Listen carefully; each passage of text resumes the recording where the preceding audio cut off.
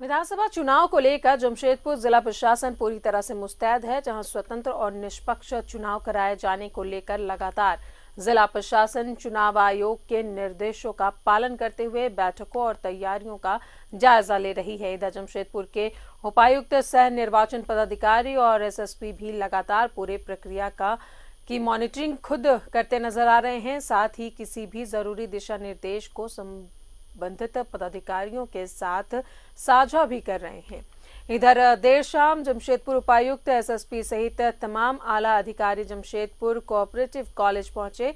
बताएँ आपको कि जमशेदपुर की कोऑपरेटिव कॉलेज में ही मतदान से संबंधित सारी प्रक्रिया संपन्न होनी है।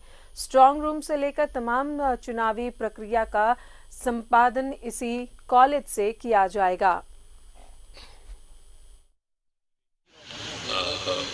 उसी के आलोक में इस बार भी हम लोग विधानसभा चुनाव में ये सुनिश्चित करेंगे कि बहुत ही स्मूथ डिस्पैच और रिसीविंग हो और इस पूरे प्रोसेस में जो भारत निर्वाचन आयोग के निर्देश हैं, उनका उनतालीस थानों में से करीब आठ थाने ऐसे हैं जो नक्सल समस्या से प्रभावित हैं, जिसमें पाँच थाने जो बंगाल बॉर्डर पर हैं, बाकी अन्य तीन थाने जो है, जो उड़ीसा बॉर्डर में हैं।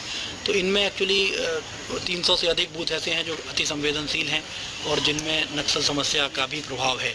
तो उसमें हम लोग किस तरीके से स्ट्रेटजी बनाएँगे ताकि चुनाव के जो ऑफिसर्स हैं, जो कर्मचारी हैं, उनको जाने में दिक्कत ना हो फोर्सेस को आने जाने में दिक्कत ना हो।